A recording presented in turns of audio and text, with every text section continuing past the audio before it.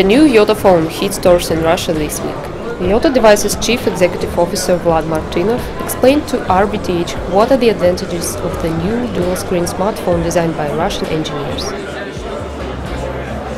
Одна из таких функций, вы можете выбирать обои, настраивать их под себя, вводить там часы или какую-то другую информацию, э, размещать на заднюю панель.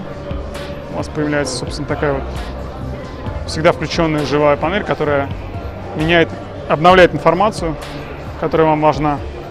Дальше приложение очень важное – это Twitter, который показывает вам можете разместить его на заднюю панель, и который покажет всю вашу ленту.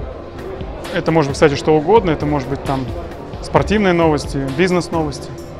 Дальше это может быть календарь, то есть если вы хотите разместить свой календарь на заднюю панель, чтобы каждый раз не включать телефон, не проверять как бы свой график, а иметь его всегда перед глазами, это очень удобно. Также я рассказывал про приложение TeachMe, учить слова иностранные или не переживая, то, что батарейка сядет, потому что задняя панель не, не тратит много энергии. Или можно открыть книжечку, почитать. Еще интересная, конечно, фишка, это когда можно разместить имидж на заднюю панель, который после разрядки батарейки все равно будет изображаться.